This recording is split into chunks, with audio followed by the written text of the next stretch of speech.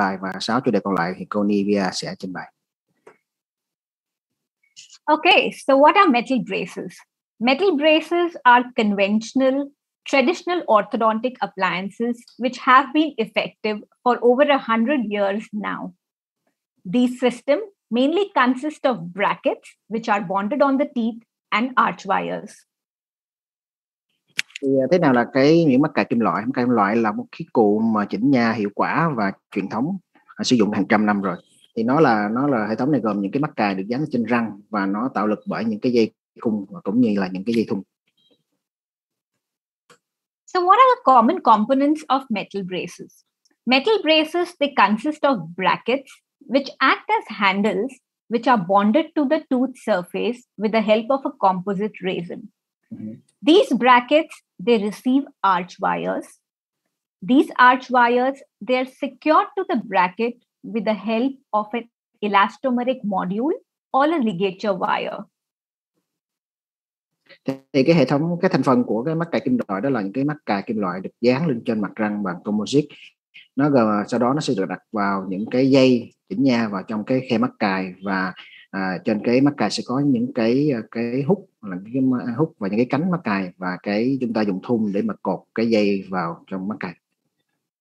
The other common components used with metal braces are power chain or elastomeric chain, which helps to close the gaps or it helps to retract the teeth. And there are coil springs which help to push the teeth apart and hence gain more space.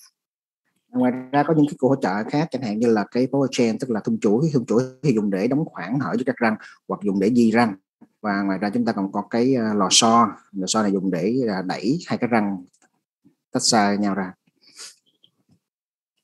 So after we've seen the major components of metal braces, we now see what are clear aligners. So unlike the traditional braces, clear aligners are removable appliance. That's the major difference between the two systems. These clear aligners are transparent, invisible plastic replicas of the teeth. Wearing these aligners, it puts gentle pressure on the teeth and hence it repositions the teeth every aligner. Clear aligners are one of the many technology advances that have made the orthodontic treatment less conspicuous.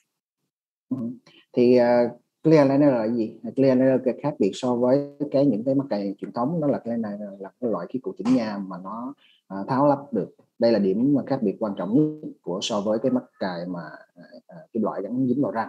À, nó là những cái à, khối à, um, trong suốt bằng nhựa. Nó ôm nó sao chép là cái hình thể của cái răng. Và khi mang cái à, aligner này thì nó sẽ tạo cái lực nhẹ nhàng lên răng và từ từ di chuyển cái răng. Ờ, sau khi chúng ta thay mỗi cái máng. Và nhờ cái sự phát triển của cái khoa công nghệ cho nên là cái việc chỉnh nha chúng ta càng ngày càng trở nên là khó nhìn thấy được. Thì chúng ta chỉnh nha cho là tâm lý rất là tốt.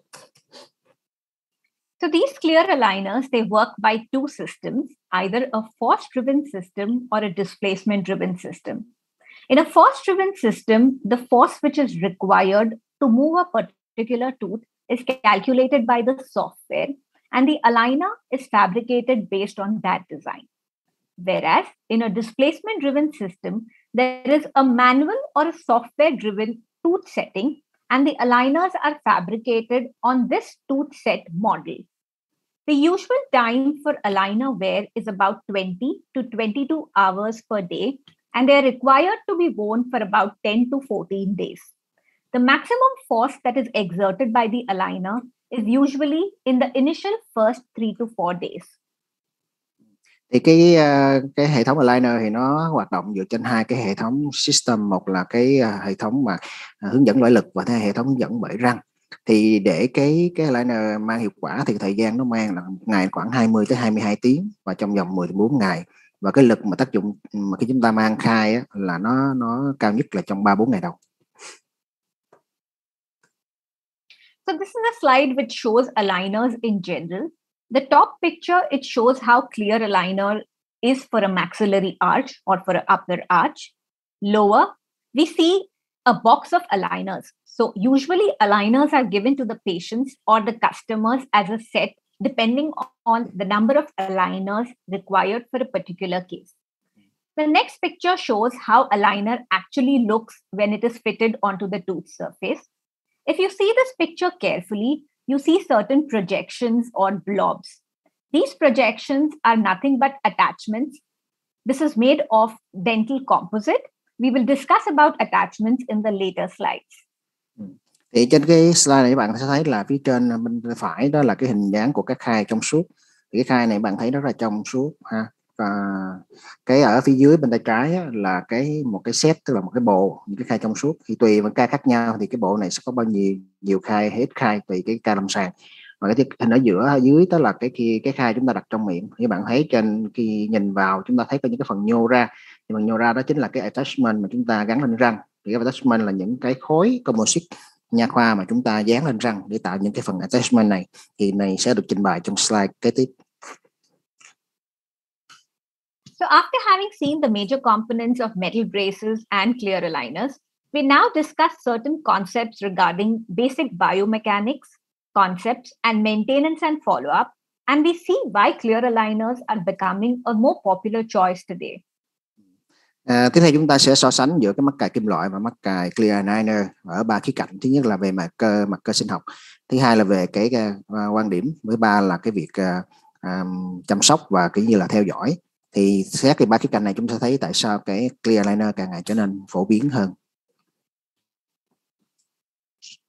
So why clear aligners? The number one reason it being very comfortable.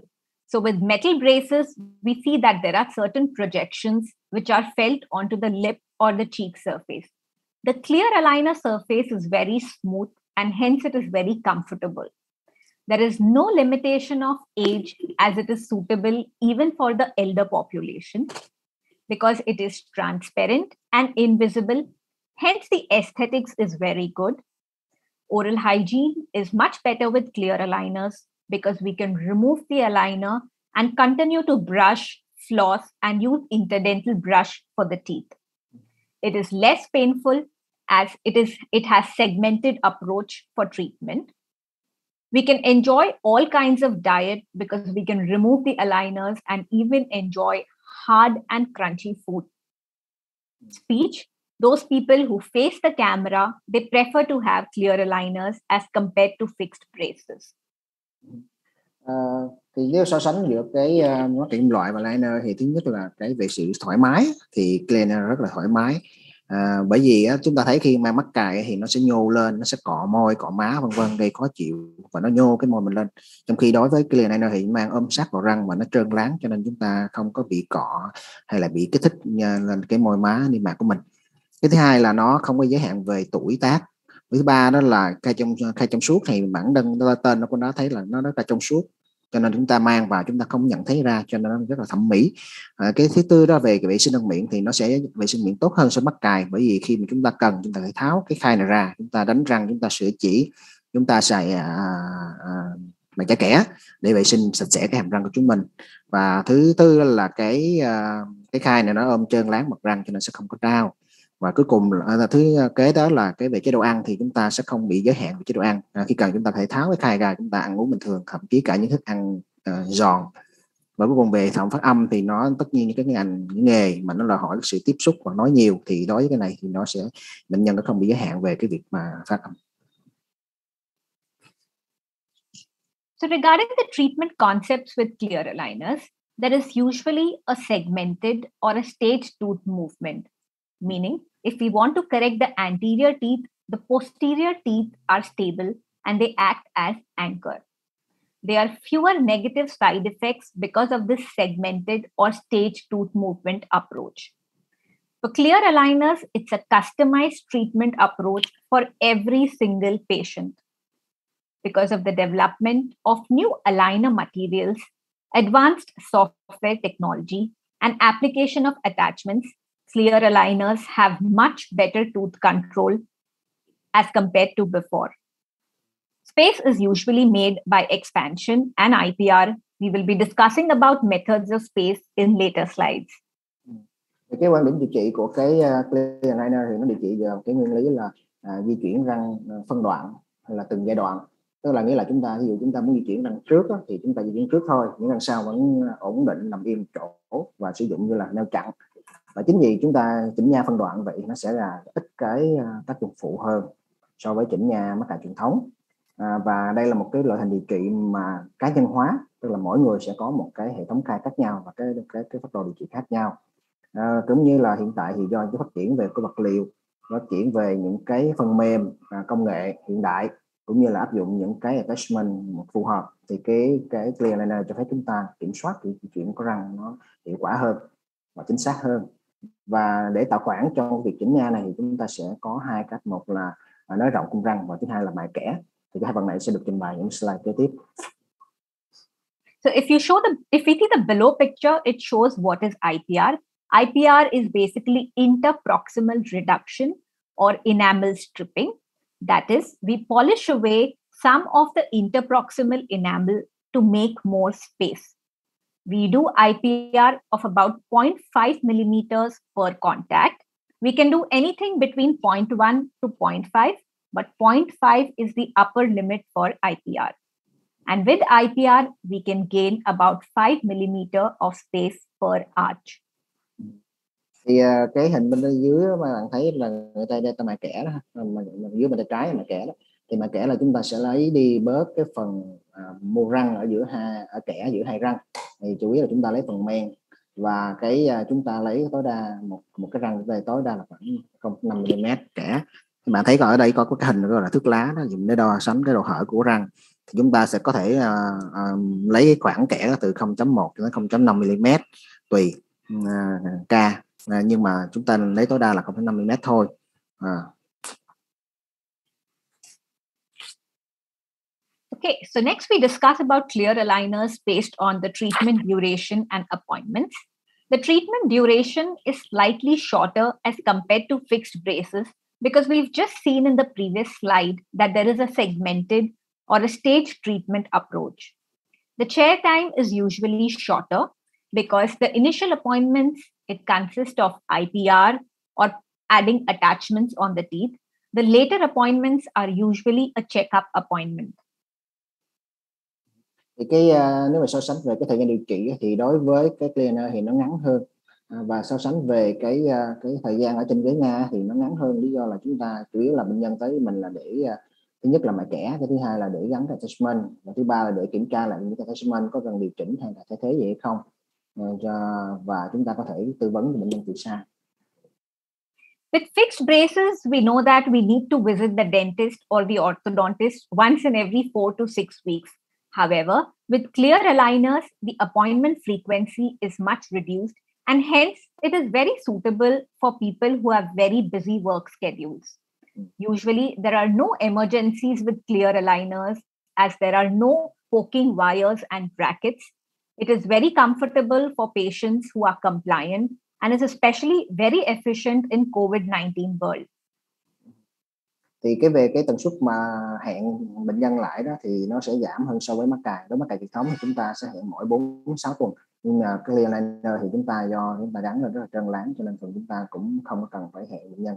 Trừ khi có những cái uh, nãy mình nói đó là mình lại kiểm tra cái attachment hoặc là mài kẻ và thôi còn với những cái sự trí cấp cứu thì gần như là không có tại vì đối với cái mắc cài thì có những cái mắc cài với cung thì có thể gây cọ gây chấn thương vân vân thì phải xử trí còn đối với clear thì nó là chân láng và ôm sát cái răng cho nên là nếu bệnh nhân mà mang à, hợp tác điều trị à, mang clear liner đúng à, thời gian đúng quy trình thì cái việc điều trị sẽ hiệu quả ờ, hơn là so với mắc cài nhất là trong cái thời điểm mà cả thế giới đang đối phó với cái nạn dịch covid Now, on the top picture, we see the requirement of instruments for a fixed braces cases. Isn't it very overwhelming? So, after seeing all these instruments, we have to be sure that we have a highly trained assistant if we are doing a fixed braces case. Whereas for doing clear aligners, we usually require composite instruments and IPR instruments. So we do not need a very highly trained assistant for that and most of the equipment is readily available in any dentist clinic. Các bạn thấy là cái hình ở trên nó là một cái bộ bộ những khí cụ chúng ta dụng cụ để chúng ta chuyển nha mắc cài. Thì bạn thấy có rất nhiều cái khí cụ, những cái kèm, những cái dụng cụ để sử dụng để mà chúng ta chỉnh nha bằng mắc cài à, truyền thống. à, như vậy thì những dụng cụ như vậy thì đòi hỏi phải có những cái hệ cái cái trợ thủ mà được đào tạo uh, bài bản về mặt chuyên môn để có thể hỗ trợ mình trong những cái việc à, chỉnh nha bằng mắc cài cố định Ờ, đối với à, tài chính chỉnh nha trong suốt thì chúng ta không cần nhiều, nhiều ngoài cái composite uh, dán mà các phòng nha nào cũng có hết. Và thứ hai là cái cái cái cái, cái cụ dùng để mài kẻ thế thôi. Cho nên như vậy chúng ta sẽ không đòi hỏi nhiều cái cái trợ thủ mà à, quá chuyên nghiệp cũng như là phải giảm giảm được những cái dụng cụ như là à, à, ừ, nhiều quá dụng cụ. So the lower picture, it shows the treatment outcome for clear aligners. There is the pre and post design, which is easily shown to the dentist and the patient before the treatment. And once we are able to see the post treatment, we have the expectations set right for the patient and the patient is highly motivated to carry out the treatment. Thì bạn thấy cái hình bên dưới đó là gì? Đó là cái hình mà chúng ta thiết lập trên phần mềm chúng ta cho bệnh nhân xem cả bên bác sĩ cũng biết được luôn là từ cái điều kiện ban đầu cho kết quả cuối cùng cho nó như thế nào. Như vậy thì cả bác sĩ và bệnh nhân đều có được cái cái nhìn là cái ca sẽ kết thúc như thế nào. Và như thế thì cái việc mong đợi của bệnh nhân sẽ được ờ, thiết lập được đáp ứng. Cũng như là cái động cơ chỉnh nha động cơ hợp tác của bệnh nhân sẽ tốt hơn khi bệnh nhân thấy được là cái hàm răng tương lai mình sẽ như thế nào. So for all these reasons, we see that clear aligners are becoming a more popular choice in the malocclusion cases that it can treat. However, fixed braces are still required to treat very complex malocclusions that clear aligners cannot treat yet. thì clear aligner càng ngày càng phổ biến để điều trị những cái uh, uh, xáo trộn cấp cắn xáo trộn cung răng uh, tuy nhiên thì đối những ca mà cái uh, có sự, sự xáo trộn sai lệch quá lớn và phức tạp thì chúng ta vẫn sử dụng uh, những cái dây cung mắc cài điều trị những cái trường hợp này thì sẽ bị hạn chế Now, after having seen the major differences between fixed braces and clear aligners, we learn a little bit more about clear aligners. So, what are the methods of gaining space with clear aligners? How do we make space for aligning the teeth? So, the four main methods that are used are expansion, interproximal reduction, distalization, and extraction. Thì uh, sau khi mình đã so sánh được cái uh, cái sự khác biệt cũng như là ưu điểm nhược điểm của mắc cài với clear liner rồi ha, thì chúng ta sẽ đi chuyên đi sâu về cái clear liner. Thì à, có một bốn cách để mà tạo được cái khoảng đối với clear liner gồm có thứ nhất là bên tay trái hàm trên ở phía trên đó là cái sự nông rộng nông rộng cung răng. À, bên tay trái à, bên tay phải và hàm ở phía trên đó là sự di xa các răng về phía sau. Ở dưới bên tay trái là cái vị mặt kẽ và cuối cùng là bên tay góc dưới bên phải đó là nhổ răng So in expansion, there is usually bodily movement of the posterior teeth and it helps to gain more space in the arch. In interproximal reduction, we do stripping of the enamel, like we discussed before, to gain space in the arch to align the teeth. In distalization, we have to do extraction of wisdom teeth, and there is backward movement of the upper posterior teeth. This is especially useful to correct class 2 or class 3 molars. And rare cases, we use extraction to gain space for clear aligners. Thì cái việc nông rộng đó là gì? Chúng ta di chuyển tịnh tiến cái răng sau hàm trên về phía về, ra phía ngoài để tạo khoảng để chỉnh nha. À, à, đối với tập mà kẻ thì chúng ta đã nói nãy rồi chúng ta sẽ mài cái vùng mô răng men răng ở mặt kẻ giữa hai các răng vậy chúng ta tạo khoảng. À, đối với vị di xa các răng là chúng ta phải nhổ răng 8 đi sau đó di xa các răng cối hàm trên về phía xa để tạo khoảng à, kéo lùi. À, thì thường cái này hữu hiệu trong trường hợp những cái sai hình lớp cắn lớp cắn loại hai à, tức là hàm hô thì chúng ta sẽ đẩy lùi răng có hàm trên để tạo khoảng kéo lùi của răng cửa dưới à, hàm trên. Và cuối cùng là chúng ta sẽ nhổ răng để tạo để sắp các các răng trúc So now we discuss about what are attachments. attachments, they are small tooth-colored composite bumps that are bonded onto the tooth surface with the help of an attachment template. These are required only during the duration of clear aligner treatment. After the treatment gets over, they're removed from the tooth surfaces. Why attachments are required? So due to the round and the smooth shape of the tooth, the attachments, they help to move the teeth with precision in correct direction to achieve the best result most efficiently. Thì cái attachment là gì? Attachment đó là cái khối composite tiệp màu răng khối nhỏ thôi và được dán vào cái răng giống như ta chám composite gì đó thì chúng ta sẽ có những cái khu cái khu chúng ta sẽ bỏ công sức đó và chúng ta à, dán vào răng để tạo hình những cái attachment mà muốn thì cái cái attachment này sẽ à, do những cái răng của mình nó trơn và nó tròn thì cái attachment sẽ giúp cho chúng ta tạo lực lên những cái này và di chuyển cái răng tới những vị trí à, mong muốn mà chúng ta cần cần đạt để đạt và với một cái à, kết quả tốt nhất mà hiệu quả nhất như vậy okay. Sau khi chúng ta xong thì chúng ta sẽ dùng bút phai chúng ta mài bớt mà mất liền cái attachment trả lại về mặt răng So attachments, they're a very important part of clear aligner treatment. The main purpose of attachments being to generate bodily tooth movement. If there is absence of attachments, it may result in undesirable inclination of the teeth during translation or bodily tooth movement. It helps to generate tooth movement where morphology of the crown is not favorable. Like, for example, if there is a rounded tooth morphology, adding attachment, it increases the surface area of the tooth and it helps to direct forces in the right direction. It also ensures predictable tooth movement. And another important function of attachment is for retention. It helps to grip the aligner very strongly. Thì ờ, tại sao mà chúng ta cần attachment thì attachment là một trong cái thành phần rất là quan trọng khi chúng ta chỉnh nha bằng à, khai trong suốt. Ờ, bởi vì nó sẽ tạo ra cái sự di chuyển tịnh tiến của cái răng. À, khi mà chúng ta không đặt cái attachment này thì có thể đã dẫn khi chúng ta di chuyển tịnh tiến cái răng thì sẽ gây ra những cái nghiêng nghiêng răng không mong muốn. À, và đặc biệt đối với những cái răng mà nó cấu trúc giải phẫu nó không thuận lợi ví dụ như là nó nó tròn quá như vậy thì cái cái cái khai nó ôm vô tạo lực không có được uh, hiệu quả thì chúng ta đặt cái attachment sẽ tăng được cái diện tích của cái cái mặt tiếp xúc với khai và thứ hai là nó là cái chỗ để cho cái lực tác dụng trực tiếp lên và định hướng cho cái răng di chuyển theo cái hướng mình mong muốn. Và thêm một cái uh, cái hiệu quả khác nội attachment đó là để duy trì. Sau khi chúng ta chỉnh nhà xong chúng ta dùng cái attachment để duy trì cái răng ở đúng vị trí. So in this picture, we see that many different kinds of attachment can be present for a single case. However, the different purpose of every attachment we will discuss in the next slide. Các bạn thấy trên cái hình ờ, cái vùng răng đó chúng ta thấy có rất nhiều cái hình dạng khác nhau của attachment, có rất nhiều cái tên loại khác nhau vân vân và mỗi loại sẽ có tác dụng của chúng nó khác nhau. Thì ờ, cái tác dụng và của những loại này sẽ trình bày ở slide kế tiếp. So the commonly used attachments are these. For example, horizontal attachment, it is used for molar tipping or extrusion or for retention purpose.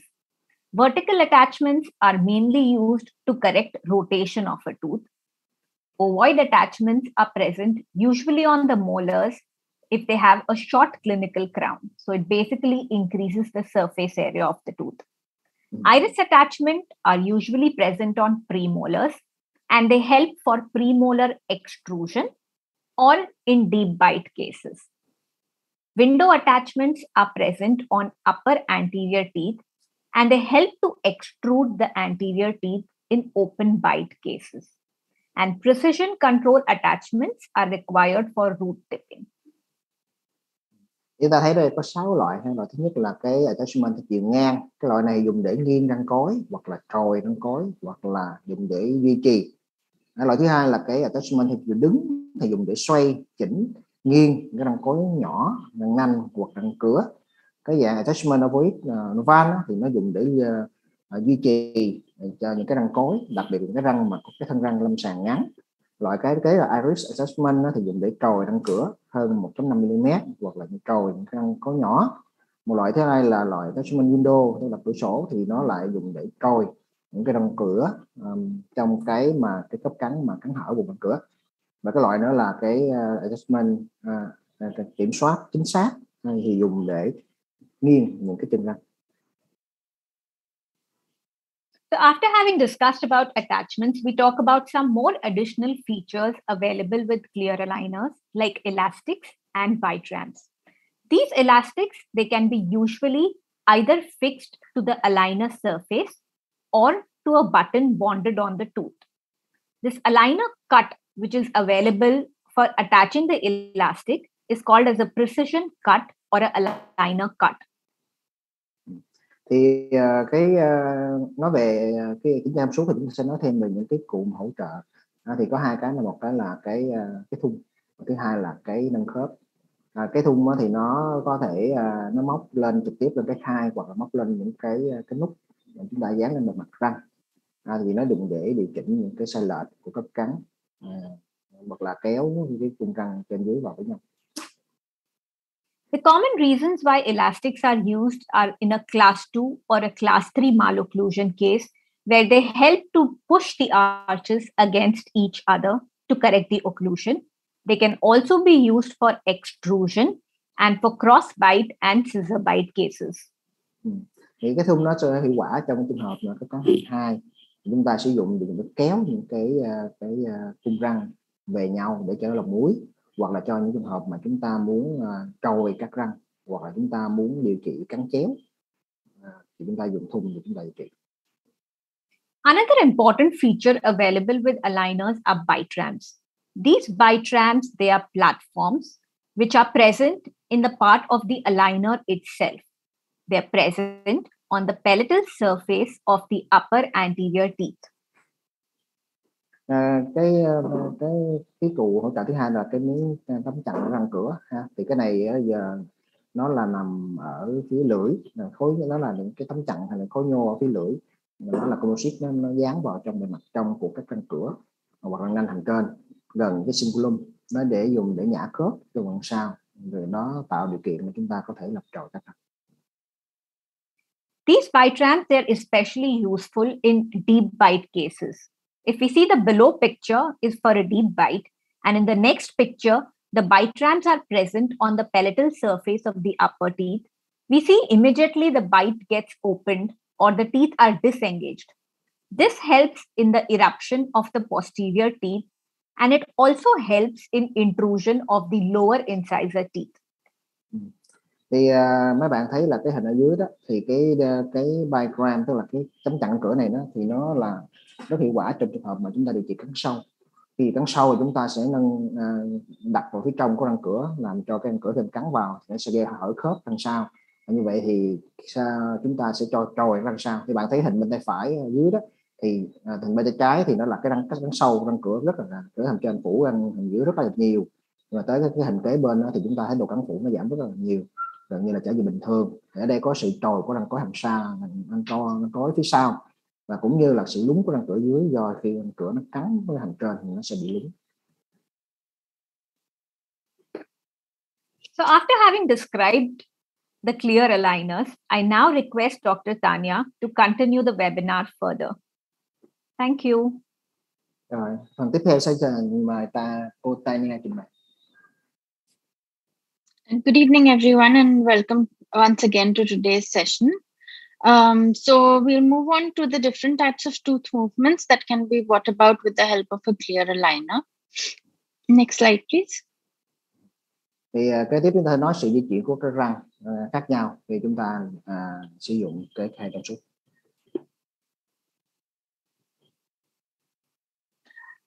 So the first and foremost is is tipping. So tipping is basically tilting of the tooth without moving the axis. cái lực cái di chuyển thứ nhất đó là cái tipping đó là nghiêng răng. Nghiêng răng đó là sự nghiêng, làm cho cái răng nó bị nghiêng mà nó không di chuyển cái chóp. Then talk which is it is a labiolingual movement of either the root or the crown. So basically if the crown will move labially the root will move lingually. Ừ.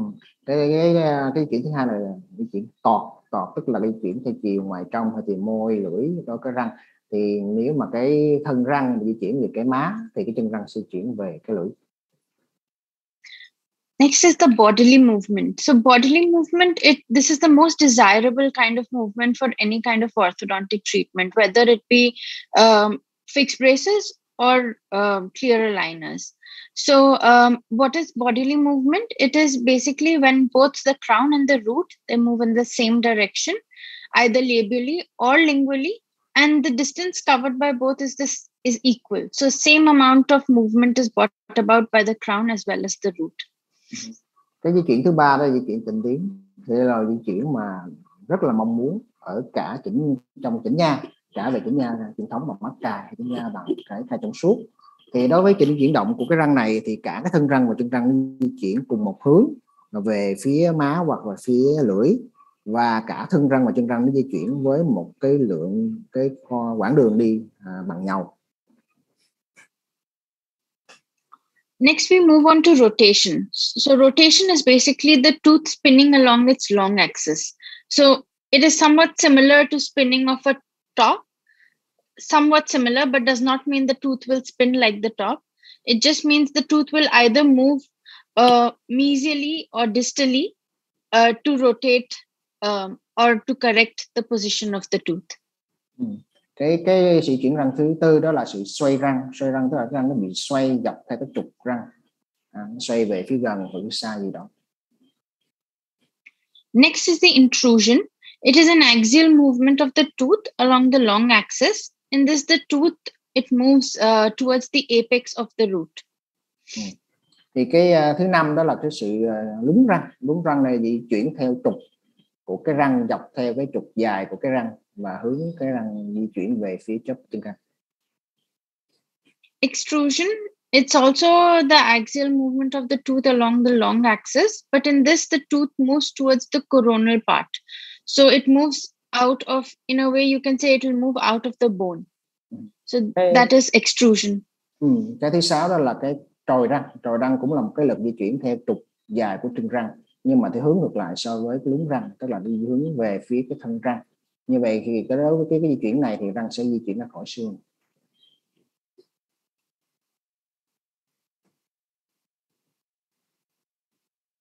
Moving on to distalization. So distalization is uh, the teeth moving uh, along the occlusal plane but away from the midline. Cái tới nữa là di chuyển di xa, di xa tức là cái răng di chuyển dọc theo cái mặt phẳng khớp cắn nhưng mà xa cái đường giữa. And mesialization is the tooth moving along the occlusal plane but towards the midline. À, cái cái chuyển động kế tiếp là chuyển động về di gần tức là cái răng nó cũng di chuyển trên theo dọc theo cái mặt phẳng trắng. Nhưng mà là hướng về đường giữa. Then expansion it is moving the posterior teeth outwards away from the midline. This is as, as explained earlier it's one of the ways of gaining space in a liner system. Cái kế tiếp là cái sự nông nông rộng nông răng. Thì cái này là cái răng sau nó di chuyển ra ngoài đường giữa hướng xa đường giữa ra vì à, cái này là một trong những cái mà chúng ta dùng để tạo cái khoảng khoảng khoảng trống để chỉnh nha. Hồi nãy mà cô Divya đã trình bày ở cái phần những cái à, tác động để tạo cái khoảng hở à, khoảng khoảng trống để chỉnh nha. With clear aligners you'll see that uh, mesialization and distalization are uh, two types of movements that we commonly do. Distalization is done in cases of uh, where there is proclination or or where there is an the, uh, there is protrusion. And ex- expansion is done uh, in cases uh, where there is um, where we need to gain space. Thì cái uh, thường chúng ta hay sử dụng ờ, cái di chuyển đó là sự di xa các răng.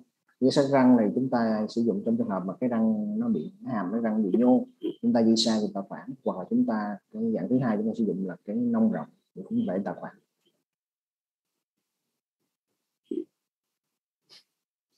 Okay, moving on to the limitations of clear aligners. So there are certain movements or there are certain um, things that that cannot. Uh, I mean, the, it is a limitation. Um, it cannot be completely corrected with a clear aligner, or it needs a certain auxiliary to correct with a clear aligner.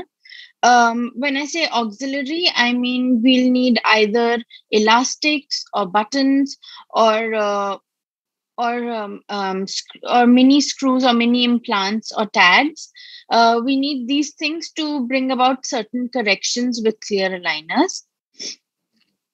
thì uh, cái slide cái tiếp nói về giới hạn của clear aligner thì giới hạn này là đa số là những cái ca những trường hợp mà nếu chúng ta chỉ sử dụng hai trong suốt không thì hiệu quả nó không đạt được như mong muốn à, ở đây cô nói tới những cái khí cụ hỗ trợ à, là auxiliary đó thì đó có thể là những cái dây thun có thể là những cái ờ, nút có thể là những cái ờ, mini vis hoặc là mini blend à, hoặc là những cái à, lò xo vân vân thì đây những cái cụ hỗ trợ dùng để chúng ta hỗ trợ cho khai trong suốt để chúng ta phải điều trị những cái ca phức tạp So some of those uh, in, uh, cases would be um, one would be the poor periodontal health. So in case of a poor periodontal health where the bone support is not much, um, it uh, it is really important to monitor the case closely and the forces that are to be applied must be really slow.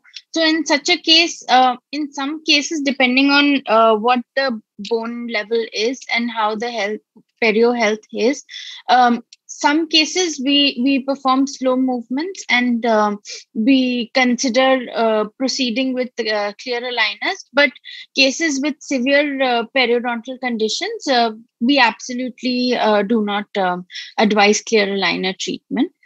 Then the next uh, would be severe rotations.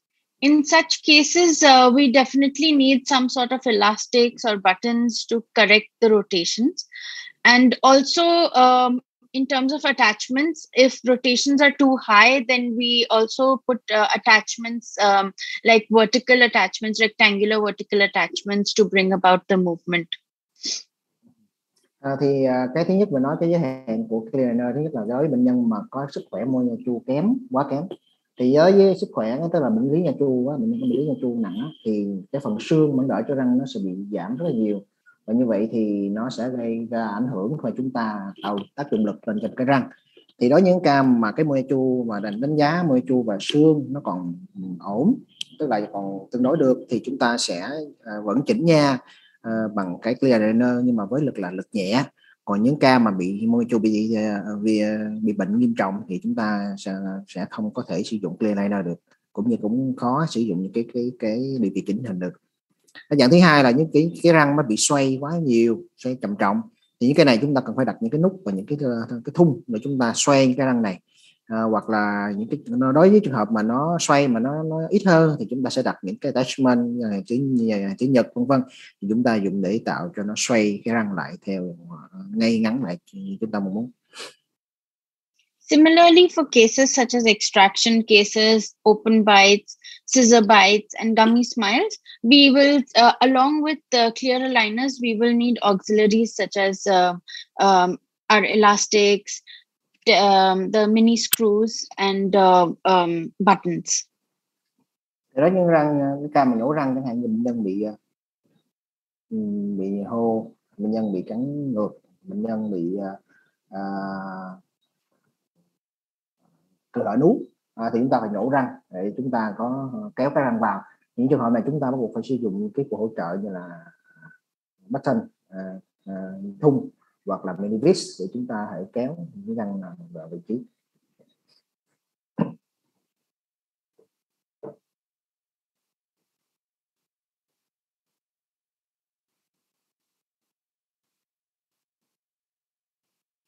Now, talking about the Zenium Clear Aligner products that we have. So, we offer two products. One is the Zen Clear, and the other one is the Zen Plus system. Um, so, just giving you a brief, uh, mm, like an overview of the two systems. So, um, sorry, sorry, Tanya. Uh, you skipped the three last limitation of the clear aligner. You skip it. The the gummy smiles. Uh, for the gummy smiles, again, I mentioned that we would need uh, auxiliaries such as uh, um, mini implants and um, elastics to bring about uh, any changes. Changes might not be drastic, but we can still make some change with clear aligners along with the auxiliaries. Okay. À, xin lỗi các bạn tại nãy cô nói một lượt bốn cái tôi cứ nghĩ là cô nói cái cái cái ca nhổ răng vậy cô nói luôn là những ca mà cắn hở uh, cắn hở trầm trọng và những ca cắn cắn cắn ngược hoặc là những ca cừ lở nú thì chúng ta sẽ sử dụng những cái khí cụ hỗ trợ uh, auxiliary để như vít hoặc là dây thun vân vân để chữa trị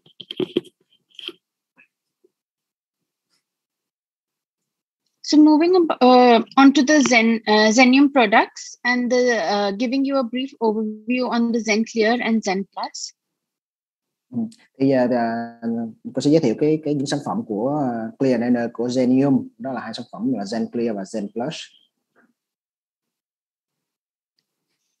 So Zen Clear and Zen Plus, there are two uh, products that we offer. Zen Clear basically uh, corrects um, five to five. So from premolar to premolar corrections are brought about by ZenClear. Whereas with Zen Plus, we also correct molars. So Zen Clear is more of an aesthetic correction, whereas with Zen Plus, any any problems with the molar relation or any problem um, with the bite can be corrected with Zen Plus cases. thì cái cái hệ thống này á, thì cái uh, công ty Zenium cung cấp thì có hệ thống là Zen Clear và Zen Plus là Zen cộng Zen Clear là chủ yếu là chúng ta sử dụng cho 10 răng trước tức là từ răng có nhỏ ờ, răng số 5 bên đây tới răng số 5 bên kia thì đa số cái cái cái chủ yếu của gen Clear là dùng để trị cho thẩm mỹ mà chúng ta không can thiệp vào cái vùng răng cối. Còn nói gen Plus hay là gen cộng thì chúng ta can thiệp vào cả vùng thẩm mỹ răng cửa và vùng răng cối kể cả những cái cắn chéo cắn xoay gì đó không vân. Nói chung là gen Plus sẽ điều trị toàn bộ cái hàm răng à, tất cả các trường hợp. So to give you an example of the difference in the movements of the two systems, I will uh, say I will go with rotation. So if I uh, if I need to do some rotation correction with a Zen Clear aligner, I can do up to 30 degrees of rotation correction or maybe lesser than that. But again, if the rotation is to the higher side, then i would definitely like like we discussed uh, about attachments i would encourage giving a vertical attachment to bring about complete correction. Uh, uh, whereas with the zen plus system the correction can go as high as 45 degrees with uh, with the incisors. And then for premolars we correct up to 30 degrees and for molars we correct up to 15 degrees of rotation. Mm-hmm. Thì uh, cái sự di chuyển răng của những cái hệ thống Sinclair và Zenplus này nó khác nhau ở những cái loại di chuyển răng bên tay trái bạn thấy nãy giờ mình kể có ba sáu loại di chuyển răng á. Thì uh, cô chỉ lấy một ví dụ về sự xoay răng thôi. Thì cái Sinclair thì nó chúng ta thấy chúng ta điều chỉnh cái răng nó bị xoay mà chúng ta xoay tối đa là 30 độ và đấy ít hơn còn đối với những cái răng mà nó bị xoay nhiều hơn thì chúng ta phải dùng sử dụng hệ thống Zenplus kết hợp với attachment. Chẳng hạn như là ở răng cửa hoặc răng nanh thì có thể là những cái răng nó xoay trên 30 độ 45 độ chúng ta cũng chỉnh được. Hoặc là những cái răng cửa răng có nhỏ hàm dưới thì nó xoay à, dưới 30 độ. Hoặc là những răng cối thì chúng ta có thể à, xoay của nó à, cái răng bị xoay 15 độ chúng ta có thể làm được với Zen Plus. Then uh, other movements such as extrusion with Zen Clear we can do about 1 mm and with Zen Plus it can go as high as 2 mm. For intrusion, it can go uh, for Zen Clear 1 to 1.5 mm. And for Zen Plus, it can go as high as 2.5 mm. Now, again, for these two movements, especially if the intrusion is too high to encourage the movement to fully express, we take the support of horizontal attachments like discussed earlier, horizontal attachments we'll place on the premolars. Uh, so that will help us to um, gain some stability and encourage uh, the movements to express fully. Thì uh, ví dụ như chẳng hạn mình nói về cái trồi răng hay lúng răng thì cái gen clear nó vẫn ít hơn so với gen plus. Này như ờ, trồi thì nói gen clear được 1 mm, ít hơn 1 mm. Nhưng mà nói răng gen plus thì có thể 2 mm, 2 mm. Hoặc là lúng răng cũng vậy, gen clear từ 1 1.5 thì đối với Zenplus có thể lên 2.5 mm à, thì nói chung là những cái trường hợp nào mà khó nhiều phức tạp thì chúng ta sử dụng Zenplus kết hợp với attachment uh, để chúng ta điều di chuyển cái răng vào vị trí chúng ta mong muốn Similarly, for other movements like expansion, crown tipping, root tipping, the corrections brought about by Zen Plus is uh, slightly more than Zen Clear. But now you would think that why offer zen clear if zen plus is doing more work? Because um, the answer would be so each patient has their own criteria for some patients their main aim is aesthetics and they're happy with five like the anteriors being corrected. So so be it. So they opt for Xenclear whereas for others everything else is important too. Their molars and all all teeth to be aligned well are important. So they opt for zen plus. But then there are some cases where patients opt for zen clear but they they need more correction and molars need to be corrected. So either we or the partner doctors encourage them to opt for zen plus for their betterment hmm.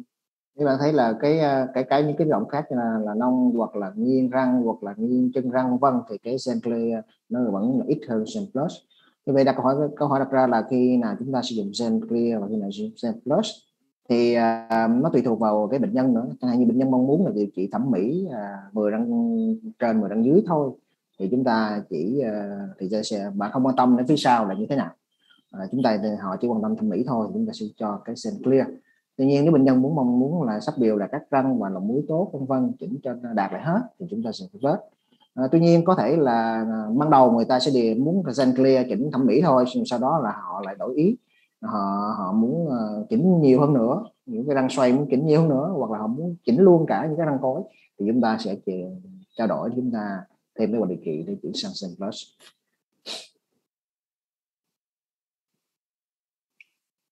So now we'll take you through, uh, we'll walk you briefly through a patient's Xenium journey. Uh, what a patient goes through once they enroll with Xenium or once they opt to go ahead with Xenium treatment. So starting with the first step, um, so the patient is prompted to uh, click some pictures and upload them. Once those pictures are uploaded and the patient goes through a series of pre-assessment, there is uh, they have a dentist uh, they have an appointment scheduled with the dentist where the dentist does their checkup takes all the records um, and takes the medical history and dental history. And um, and those records come to us the planning is done. Once the patient agrees with the plan um, the next step is they um, they review the plan they agree to the plan and they pay.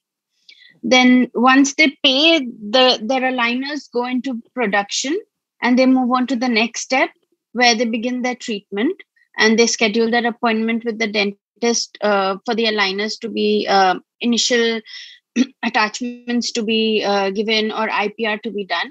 And finally um, once they are done with all the sets of aligners all they need to do is to maintain their new smile and to use the retainers uh, well. Thì à, một cái quy trình hay là một cái chu trình điều trị của bệnh nhân Zenium là như thế nào? Thì đầu tiên là là bệnh nhân sẽ gửi một số cái hình ảnh uh, cho mình tham khảo trước. Sau đó mà sẽ đi tới khám và được khám răng miệng được uh, hỏi bệnh sử tiền sử răng miệng toàn sử toàn thân. Rồi trao đổi kế hoạch điều trị Ờ, cao chọn các bước và sau đó thống nhất cái phương án điều trị và kết quả điều trị. À, nếu mà sau thống nhất xong thì bệnh nhân sẽ trả tiền và sau đó chúng ta tiến hành các bước điều trị như đã lập kế hoạch.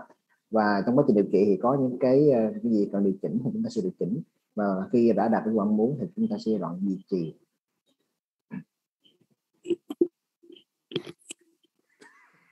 So uh, when a patient sees a dentist, um, there are uh, a few things that are mandatory for treatment planning. First is the patient's main concern.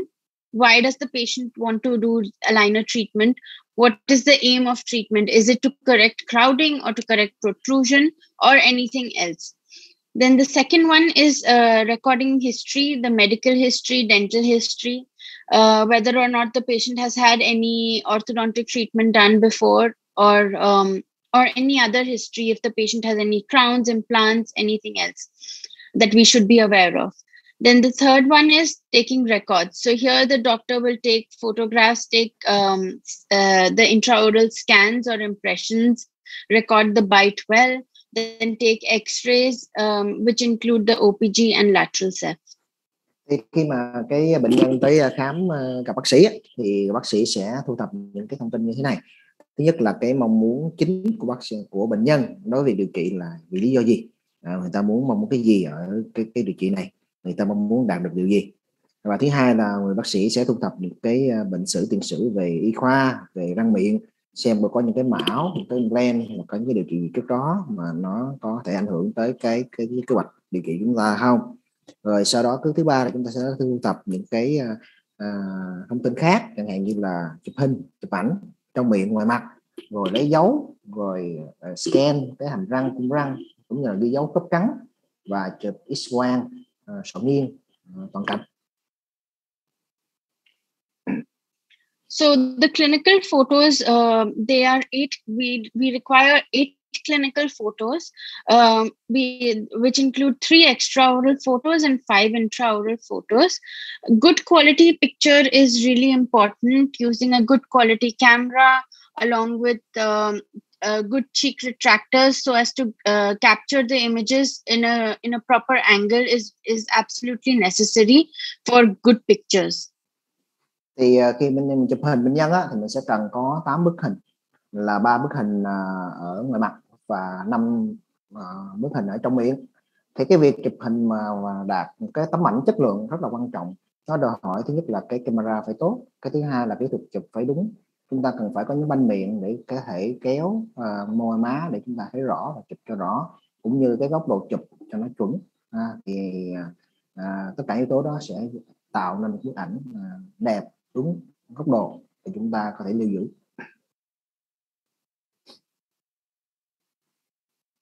The next would be the intraoral scan. So this is the most favorable uh, way of recording the patient's uh, intraoral um, um, structures um, for treatment planning uh, for clear aligners. For intraoral scan, it is absolutely necessary to um, to isolate the, uh, the mouth of saliva. Um, so minimum saliva contamination would give us a good intraoral scan. Also to maintain a stable bite while scanning is absolutely necessary. À, cái bước thứ hai là chúng ta là quét quét cái ờ, trong miệng. À, thì quét trong miệng này chúng ta ghi dấu được à, những cái cấu trúc ở trong miệng mình.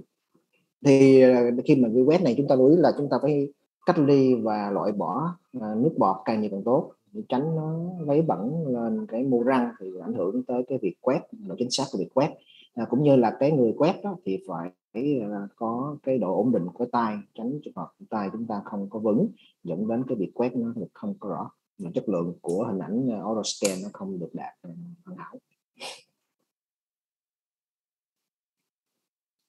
um, if the, sometimes intraoral scans are not always uh, available for everyone. In such a case, we use PVS impressions as they are the most stable kind of impressions. But with impressions, again, there are a set of things that we need to be careful about, such as the setting time. We need to ensure that the impression material has set well before we remove the tray from the mouth. We need to avoid air bubbles, drags, um, tear in material we need to make sure that the tooth structure is fully covered if all this is done and the impression quality is good it will help us to plan the treatment well and further produce good set of aligners or the or a good quality of aligners. Nếu mà chúng ta quét miệng thì chúng ta phải lấy dấu. Người lấy dấu thì tôi hỏi là chúng ta phải lấy dấu cho đầy đủ cái chi tiết uh, trong trong cung, cung răng trong miệng cũng như là không tránh cái bọt hoặc là những cái uh, cái ờ, uh, gì vô hay gì vật gì đó nằm ở trong miệng để cho cái một cái dấu chất lượng. Và như thế thì chúng ta sẽ có một cái mẫu chất lượng và mẫu chất lượng thì như thế chúng ta mới thiết kế được cái cái uh, chính xác được For clinicians who prefer to take uh, impressions, it is uh, absolutely necessary to record the bite really well because this bite helps us to set the um, uh, set the models in the patient's actual bite and replicate it in the 3D scan. Thì đó những bác sĩ nào mà thích sử dụng lấy dấu á, để mà thiết lập cái là điều trị với thay trong suốt á, thì chúng ta phải à, làm cái bước thứ hai đó là phải ghi dấu khớp cắn. Từ ghi dấu cắn thì chúng ta mới chặt hai mẫu hàm lại cho được cái tương quan của hai cung răng ở trong miệng. À, như thế thì chúng ta mới có thể kế được cái hoạt so you can say in a way a bite it acts as a guide for us to set the the models in in the correct bite như bạn thấy cái hình bên đây thì chúng ta đó là cái cái ghi dấu cắn ha. Cái màu xanh xanh là ghi dấu cắn ha. Thì dùng để ghi dấu hai cấp cắn lại. Next slide please. Okay so this is the most important this is the most important part now. Uh, that covering the third molars or the wisdom teeth. Why is it important to cover the third molars? So our aim should be to cover the third molars 100% but that is not always possible because um, because of either there is poor access or the position of the tooth is such that it is uh, it is not possible to get the scanner there or the tray cannot reach that far far into the patient's mouth. In such a case our aim should be to at least cover 70% of the crown or two thirds of the crown what will happen if the molar is not covered? If if the third molar is not covered we will end up not covering it in the aligners. What happens is uh, then when the patient is in treatment say for about 6 months or 1 year um, the the third molars would be exposed whereas the other teeth would be covered. So this there will be like a slight gap between the upper third molar and the lower molar and this will give space uh, like the third molars will get space to move causing them to supra erupt and this will further by the end of the treatment will cause bite issues. Thì à, uh, đối với uh, một cái trong quan trọng mà chúng ta lấy dấu mà làm dấu hoặc là quét scan để mà làm cái bán trong suốt thì chúng ta phải lưu ý tới cái răng số 8 có cái răng số 8 này nó đã mọc trong miệng chưa? À, nó mọc và mọc hết và đầy đủ hoặc là một phần hoặc là bị kẹt thì chúng ta phải lưu ý cái này cả trong phía xoang và khi lấy dấu luôn. Nếu mà nó đã mọc trên miệng rồi thì chúng ta phải lấy dấu hoặc là quét, scan được cái răng số 8 này, nhất là những cái răng mà nó mọc được ờ, hai phần ba trên miệng đó. Để làm gì? Để chúng ta có thể là đưa nó vào cái và điều trị. Để tránh trường hợp chúng ta đã, chúng ta bỏ qua cái răng này thì chúng ta điều trị. Đang trong quá trình điều trị thì cái răng này mọc mọc cao lên và nó gây ra cái nhã khớp hoặc là gây xáo trộn cái cái cung răng làm thay đổi cái điều trị mà chúng ta không có dự phòng hay là không có um, gọi là à, đưa vào cái điều trị trước đó So please remember, if the molars are fully erupted or partially erupted, aim is to cover the uh, the molars as much as possible. Uh, not doing so will lead might lead to unwanted movement or supra eruption. And sometimes towards the end of the treatment, we do not have an option but to extract the aids to settle the bite. So covering the aids is very, very, very important. cho nên là nếu trường hợp chúng ta bỏ sót như vậy có thể là những cái đó cái răng nó mọc lên nó gây đội và gây hở cái cáo à, và là kế hoạch chúng ta nó giống như là không có được chuẩn bị hoàn hảo next slide please so now we'll be uh, showing you a few case studies or some cases that have been done with our Zenium system uh, let's move on to the first case bây giờ là tới cái phần các ca lâm sàng được điều trị với khai Zenium So this case, uh, we can see this is a 31 year old female patient. And uh, this is a case of spacing. The patient's main concern is the spacing. Um, it's a class one malocclusion, and there is mild crowding and spacing in the upper arch. There's a midline diastema between 1 1 and 2 1. So let's see how we plan the treatment here. So in this case, uh, the aim was to close the gap between 1 1 and 2 1. So um, we used now whenever there's a gap, we take a reference for the midline.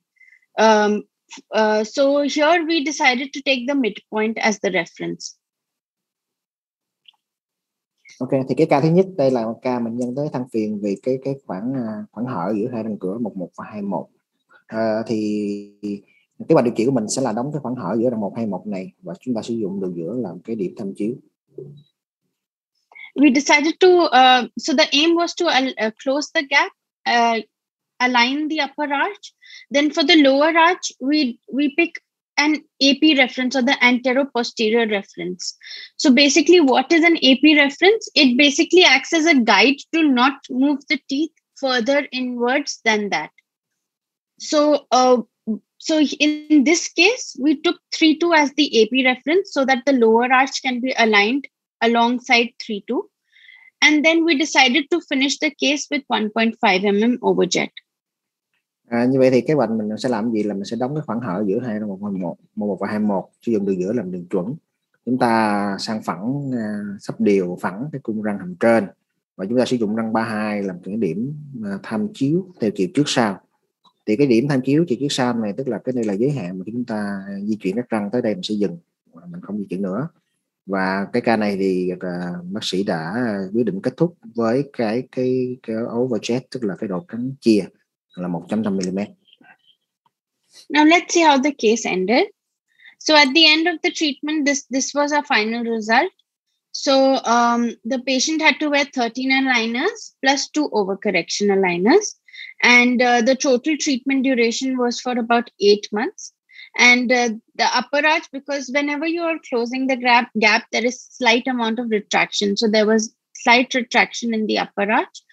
And um, lower arch, we did IPR to align the arch. And uh, the end of the treatment, patient was given SX retainers for both upper and lower arch. Ừ. Thì cái ca này tổng số cái máng bệnh nhân này mang là 13 cộng 2 tức là 13 ca cái máng dùng để điều trị tới cái cái điểm mong muốn và hai cái máng dùng để điều trị quá mức tức là điều trị lố tránh à, để bù trừ sự tái phát và cái thời gian điều trị là 8 tháng và đối với hầm trên thì do để đóng cái khoảng hở giữa hai răng cửa này thì có cơ chế của mình là kéo lùi. Dạ, kéo lùi cái răng cửa về sau. Và để hầm dưới thì để sang phẳng cái răng này hơi chân chút chúng ta sẽ mài kẻ để chúng ta sắp đều cái khung răng hàm dưới. Và khi kết quả điều trị được đạt được thì chúng ta sẽ duy trì bằng cả, cả hai hàm trên dưới bằng cái à, uh, khay duy trì assist Okay, moving on to the next case. So this case, uh, the patient's main concern was the gaps and protrusion. This is a class one uh, malocclusion, and the overjet seems increased here. And there is some amount of tri- crowding in the lower arch, and there is a midline diastema again here. Thì cái bệnh nhân ca thứ hai này bệnh nhân là than phiền về cái cái khoảng hở giữa răng cửa và cái độ cái răng cửa nó bị nhô. Về chẩn đoán mình chẩn đoán đây là à, à, sai hình loại 1 có sự tăng cái độ cắn chia răng chen chúc có khoảng hở và có khoảng khe hở răng cửa. So let's see how we proceeded with the treatment here. So the aim was to close the midline diastema. Now in this case, we see that 2-1M, the, the mesial side of 2-1 was coinciding with the facial midline. So we decided to use that as the midline reference. So, um, and then to close the gap between 1-1 and 2-1. Then the uh, then we retracted both the arches by one approxim- approximately 1.5 mm, and uh, whenever we retract for anchorage control, we always do sequential retraction. And then um, we added about six to seven degrees of uh, palatal crown top to the upper anteriors. And the aim was to finish the case with 1.5 mm overjet. Như vậy thì cái ờ, cái ca này địa chỉ thế nào? Ha thì đầu tiên là chúng ta sẽ đóng cái khoảng hở với răng 1121 và chúng ta sử dụng cái phía gần của răng 21 là cái điện tham chiếu à, để chúng ta hãy đóng cái khoảng hở này và chúng ta kéo lùi cả hai cung răng 1.5 mm à, cũng như là gì di chuyển một cách từ từ từng cái răng. Và ở cái này chúng ta sẽ tạo ép một cái lực tọt cho cái cho cái răng cửa vào phía phía phía lưỡi ở phía trong đó là 6 tới 7 độ. Và kết thúc cái ca điều trị này với độ chia là 1.5 mm. So let's see how the case ended. Um, so this case, um, patient was given seven aligners and two overcorrection aligners. Um, the total duration of treatment was four months. Um, so the upper arch was slightly retracted. Like I said, whenever you're clo- closing the gaps, there is always slight amount of retraction that is bound to happen. So upper upper arch there was slight retraction. In the lower arch ipr was done and slight amount of expansion was also done to gain space to align the arch. Um, and then at the end patient was given upper and lower sx retainers to maintain the smile. À, thì cái ca này chúng ta điều trị với là số khai là 7 cộng 2, 7 ca điều trị và hai cái khai dùng để điều trị lố. Và thời gian điều trị là 4 tuần à, cái hàm trên chúng ta sẽ kéo lùi để đóng khoảng hở. Thì đa số trường hợp mà càng nhô và đóng à, khe hở chúng ta phải là kéo lùi để chúng ta đóng. Và hàm dưới chúng ta sẽ là mài kẻ và nông rộng cái hàm dưới để mà chúng ta sắp đều cái cung răng. À, nó có sự chen chút nhẹ hàm dưới đó. Và sau khi ra được cái cung răng được mong muốn thì chúng ta sẽ duy trì với cái à, cái khai assist hai hàm. Let's move on to the next case. So here the patient's main concern was the crossbite, the anterior crossbite. Um, this is a class 3 malocclusion. Uh, the skeletal bases are also class 3 There is mild crowding in both upper and lower arch. And uh, the crossbite we see is primarily uh, with regards to 1, 2 and 2, 2. Thì ca thứ ba đây là một ca chính là ta nói thằng phiền vì lý do là đã bị cắn cắn ngược cái răng cửa thì chúng ta khám chúng ta chẩn đoán thì bệnh nhân này bị sai hình khớp cắn loại 3 và sai hình xương loại 3 luôn và có sự chen chúc ờ, nhẹ ở hàm trên cũng như là cung ra hàm dưới và có sự cắn cắn ngược của rồng răng 1 2 và răng 22. So let's see how we proceeded with the case. Um, so so for crossbite correction, so as so so as the movement uh, expresses fully, we decided to go for horizontal attachments on 1, 2 and 2, 2. Uh, because the two laterals are slightly palatally placed compared to the rest of the teeth. So that so since we want the teeth to move forward, we gave the attachments. Then we added vertical attachments on 4, 2 and 3, 3 to correct the rotations. Then um, we decided to align both the upper and the lower arch. We used 2, 1 as the AP reference here. So 2, 1 was the maximum point uh, for the teeth to move into alignment and then uh, we gained space through IPR mainly in both arches. Thì cái ca này chúng ta trị thế nào ha? Thì chúng ta thứ nhất là bây giờ chúng ta thấy cái răng 12 với 22 nó cắn ngược thì chúng ta cần phải đẩy nó ra ngoài. À, thì ở đây người ta sử dụng cái attachment theo chiều ngang ở răng 122 để chúng ta đẩy cái răng này chia ra ngoài, hướng ra ngoài. Và cái chúng ta à, đặt cái attachment theo chiều đứng lên cái răng 42 và 33 để chúng ta chỉnh xoay cho cái trục răng này đúng lại. Cũng như là chúng ta dùng cái răng 21 như là cái điểm thâm chiếu theo kiểu sau để các răng mà chúng răng cửa mà chúng ta chỉ ra đó thì nó sẽ lấy cái răng 21 làm điểm thâm chiếu. Là cũng như là chúng ta sẽ mài kẻ hàm dưới à, cả hai hàm. Để uh, chúng ta kiếm khoảng So let's see how this case finished.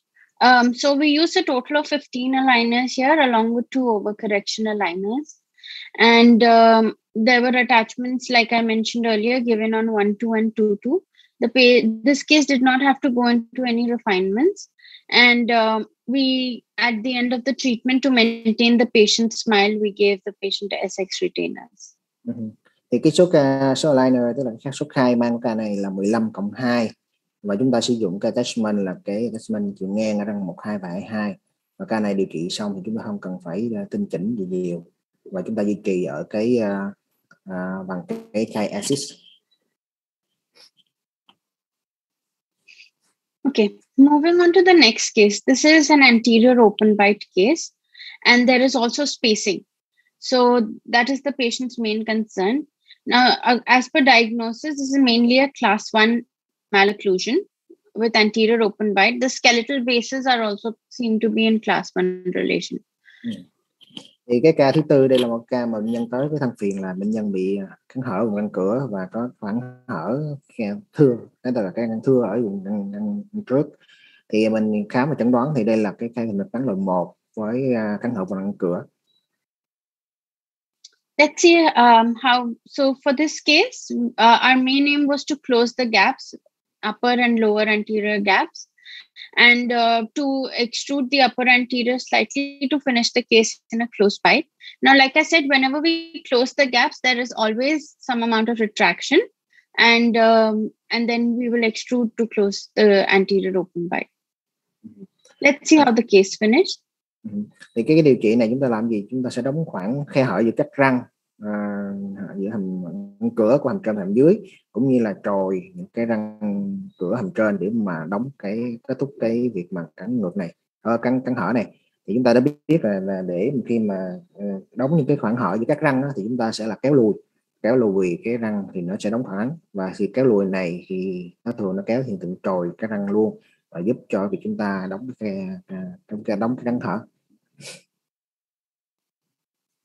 So in this case, we uh, the patient was given 14 aligners uh, plus two overcorrection aligners. The total duration of the treatment was six and a half months. Um, there was some amount of IPR done in the upper arch, as well as uh, some attachments placed um, and slight expansion for the teeth to align, gaps to close, and uh, the anterior open bite to correct. uh, and for the lower arch as well, IPR attachments and expansion.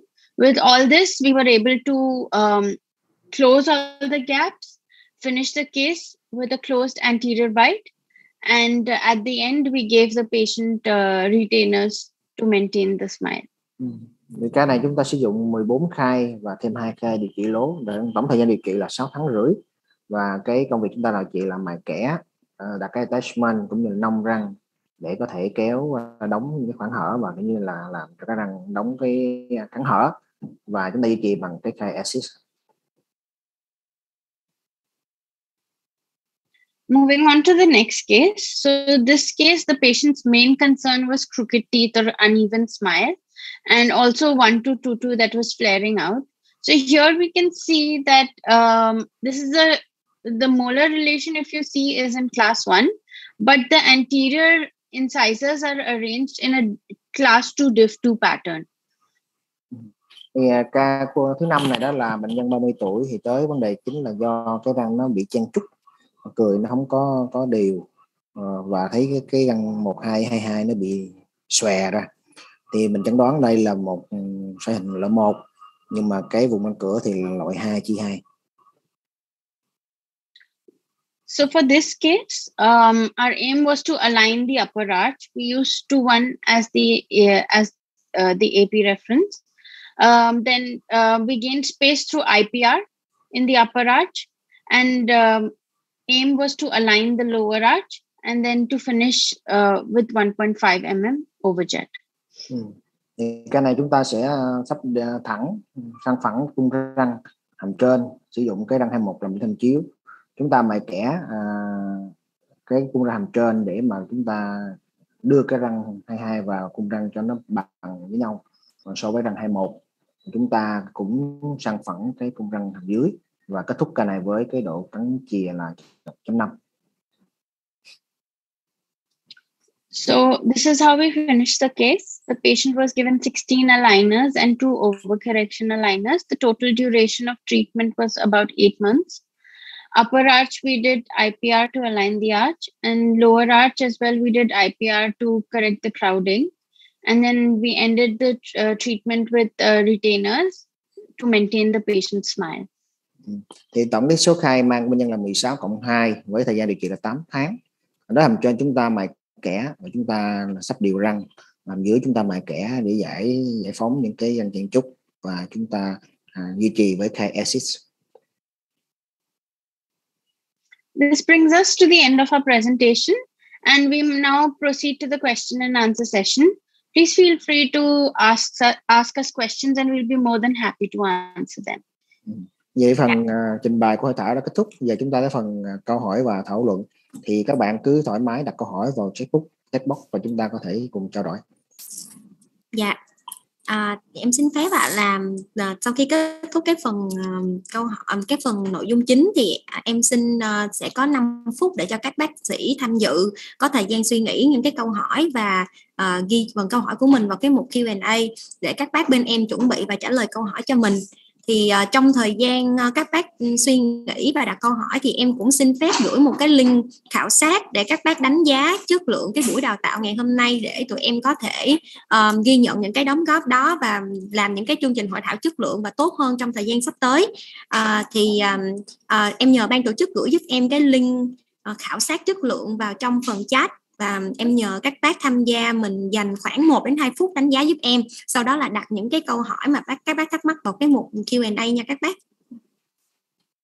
Uh, so Dr. Tania and Dr. Divya, we will wait for uh, five minutes so participants can prepare the questions and they can do the evaluation for the content quality. Okay, sure.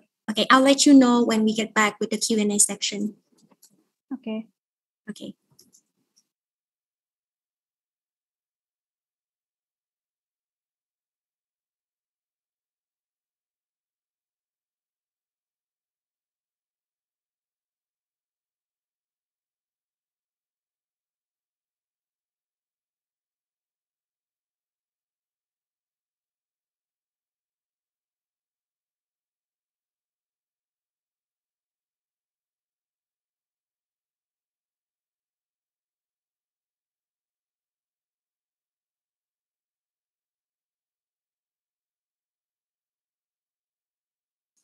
Dạ, mình có thể click vào cái link ở trong một chat để um, các bác uh, có thể đánh giá giúp em và đồng thời là em thấy cũng có một số bác sĩ uh, muốn tư vấn về cái ờ, khay niền của Zenium á các bác thì các bác có thể trên cái link đó nó cũng sẽ để cái thông tin để các bác đăng ký và các bạn chuyên viên bên em sẽ đặt lịch hẹn để được tư vấn hỗ trợ cho các bác tốt nhất ạ. À.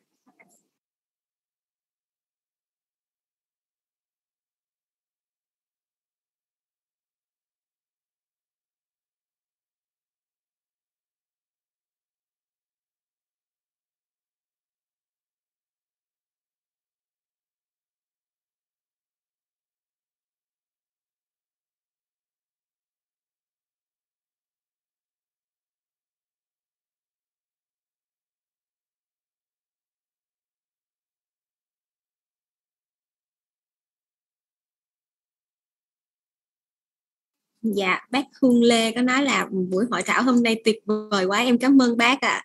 À. à, nhờ cả vào ờ, bác Huấn bác Tia và bác Tania trình bày rất xuất sắc luôn.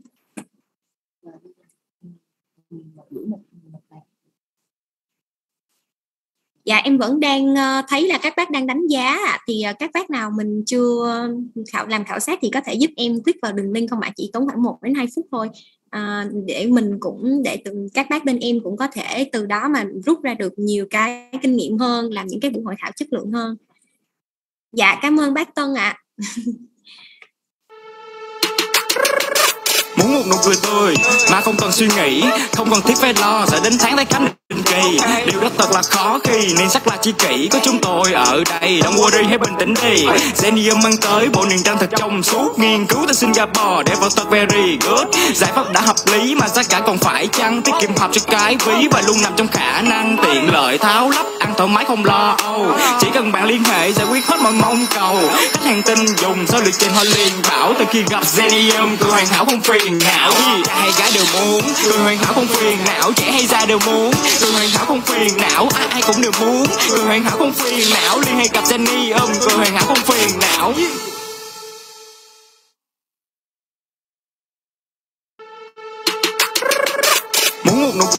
Người. Mà không cần suy nghĩ, không cần thiết phải lo sẽ đến tháng tái khám định kỳ.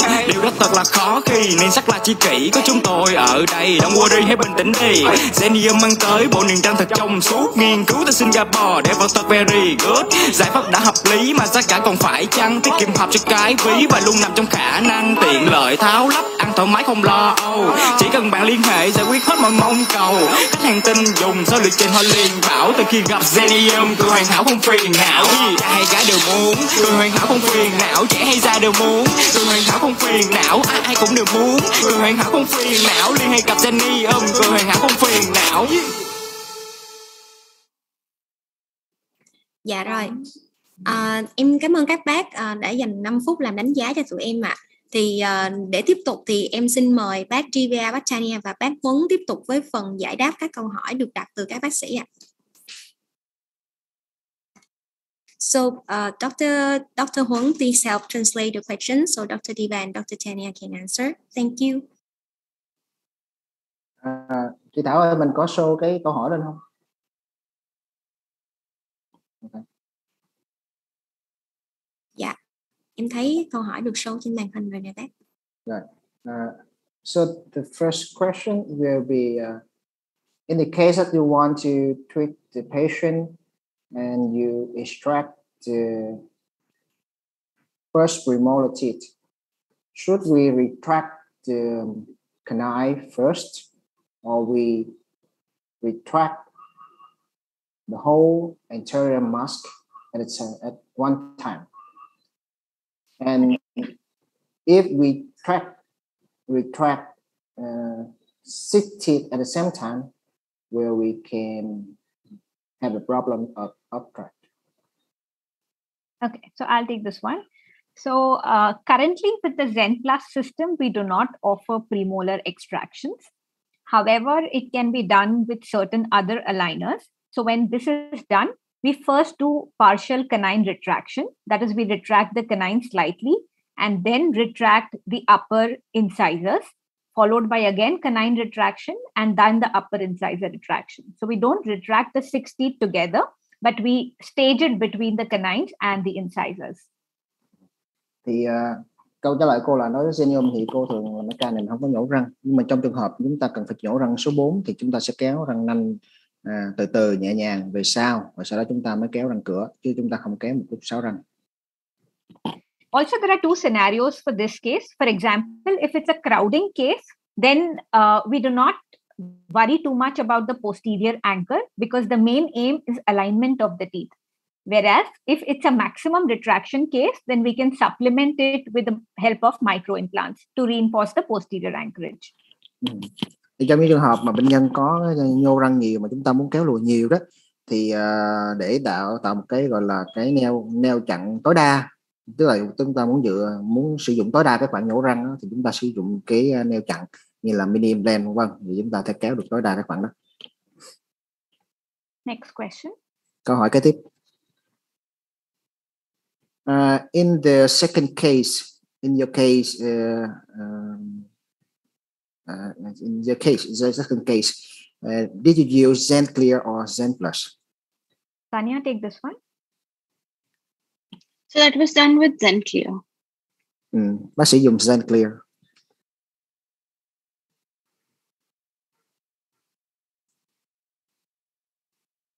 Next question. Câu hỏi kế tiếp. À, chị Thảo hơi hết hết thấy hết thấy cái màn hình này.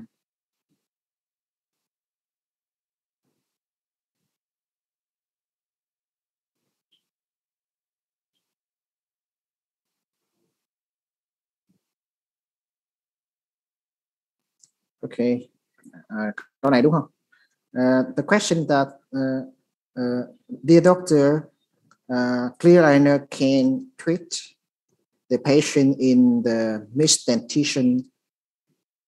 Uh, yes, the, the, the young patient with mixed dentition on in development uh, periods or not.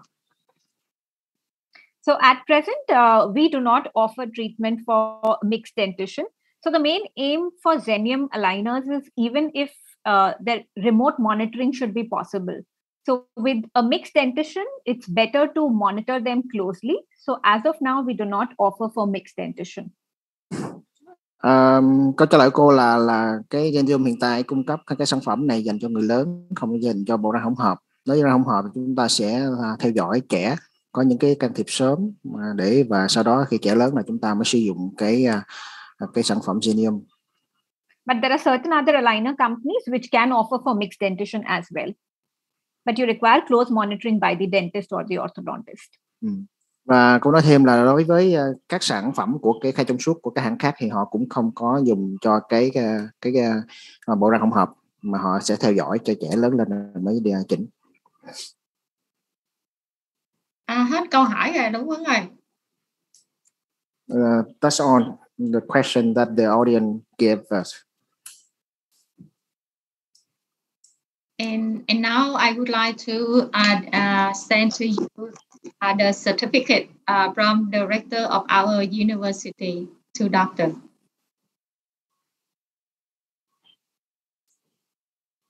Uh, Mọi người có thấy uh, thấy màn hình của mình không? Đúng. Chị ơi, uh, bên tổ chức nói còn hai câu hỏi gì đó, chị kiểm tra lại cái còn. Chị không thấy. Để chị coi. À, bây giờ mới thêm một câu nữa nè. Để chị uh, tắt màn thôi, thôi để em coi đúng là câu nào ta? Hai câu cuối hả? Có hai câu mới vô á. Okay. Uh, so there are two more questions.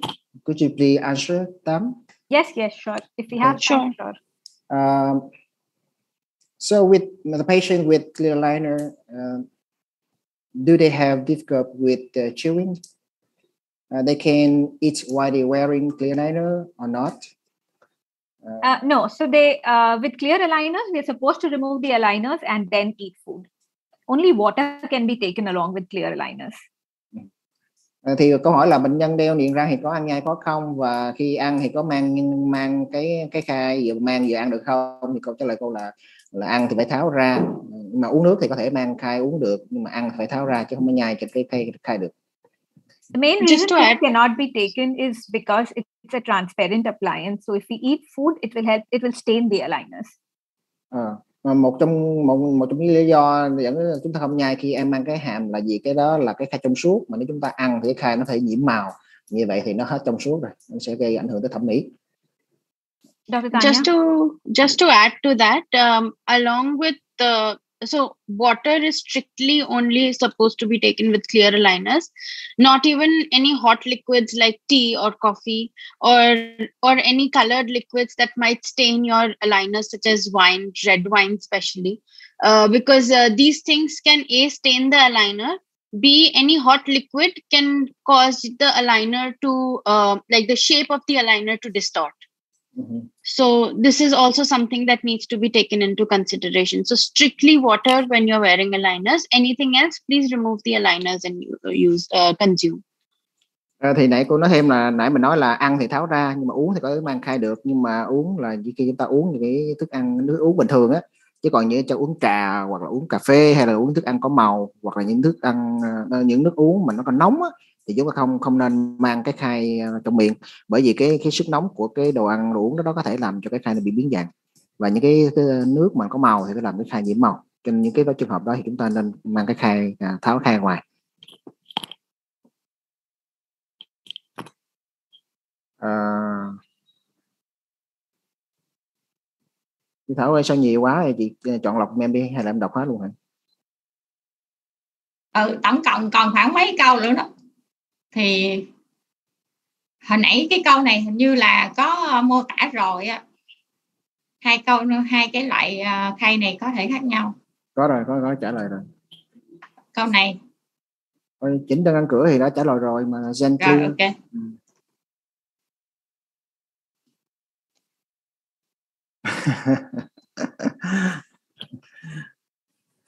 câu này bạn này hỏi thì nó hơi uh, hơi hơi ngầu ngộ xíu thì thôi để tôi hỏi luôn. Thì cả đúng câu trả lời thì tôi biết rồi. So um, the question that if you want to gain space uh, to align the, the the arch so if you do IPR will you do at the at the beginning at the time that the the, the teeth is still crowded or we will align them and then we do IPR okay so I'll take this question um, so for IPR, if the area is excessively crowded, then we tend to delay the IPR in that area if it needs to be done. Um, in stage one or at the beginning of the treatment, IPR is only done in areas with good access, where the burr can or the IPR strip can easily be accessed and um, accurate amount of IPR can easily be done. Any other area where the access is limited or crowding is excessive, we wait for the crowding to settle a bit and the, the access to become slightly better, and then we stage it. So we do it, say, maybe uh, midway through the treatment.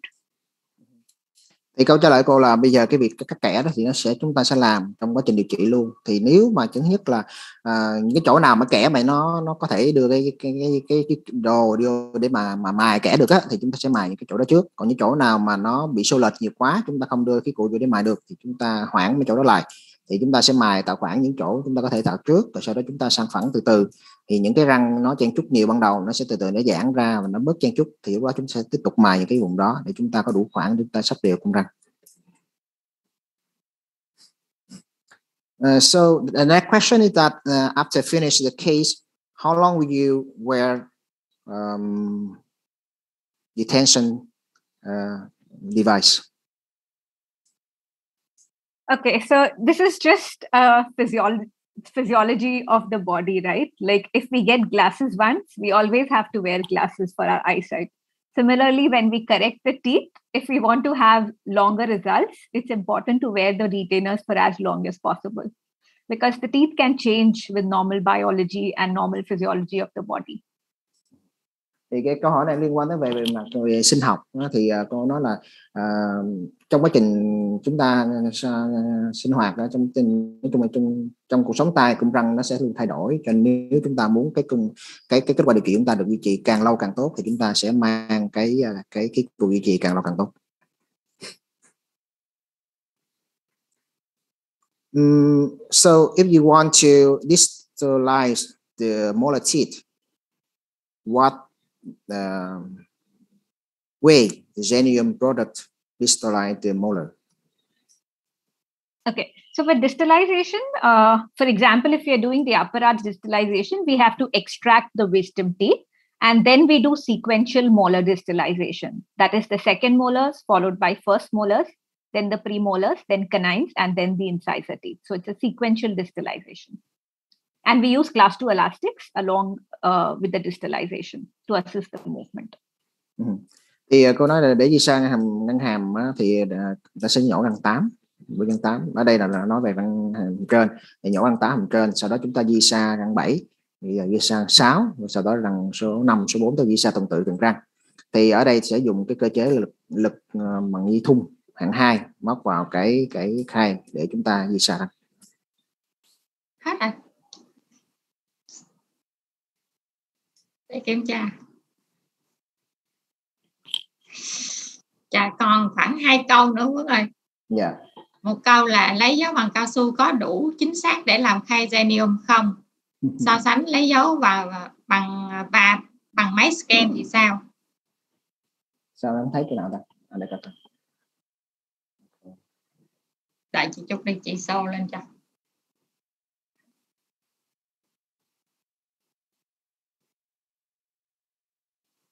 vô Q&A rồi mà cho chưa thấy cái uh, nó nó nó nó nằm lẫn đâu hết trơn. À đây rồi. So the next question if we we uh, we make the clear aligner with the, model making from the um, impression PVS impression. So is it enough uh, precise when you making a model making a liner from a model with enough side side to do the to make a clear liner. And when we compare uh, impression and uh, auto scan, uh, what do you think? Dr. Tanya? Do you mean um, uh, so? Is the question that is is it accurate? Is the is making aligners with impression accurate as accurate as scan? Uh, with impression. With impression, is that the question? Yes. Okay, so um, all right. So to begin with, scans are definitely more accurate because they cover, uh, they'll capture um, the the smallest of gaps and like all the tooth structure and everything will be captured more accurately with with a scan. Having said that, PVS impressions, particularly um, compared to alginate impressions are are way more stable. So that is why they are preferred for a liner system. Um, they can i mean it is the preferred way. If you do not have a scanner and you prefer to take impressions then pvs impressions is what is preferred rather than um, um, rather than alginate. But if you are asking in terms of uh, accuracy then scans are definitely more accurate. Mm-hmm. Thì câu trả lời là so với uh, lấy dấu và scan trong miệng thì scan nó sẽ cho cái thông tin đầy đủ và chính xác hơn so với lấy dấu. Tuy nhiên nếu chúng ta không máy scan mà chúng ta lấy dấu thì ờ, so giữa sánh giữa cao su và acetat thì cao su chính xác hơn. Cho nên uh, cô khuyến nghị là nếu chúng ta không có máy scan lấy dấu thì chúng ta nên sử dụng cao su để lấy dấu.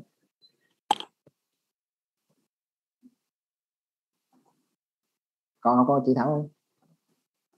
À, còn mấy câu nữa đợi một chút xíu chị so liền.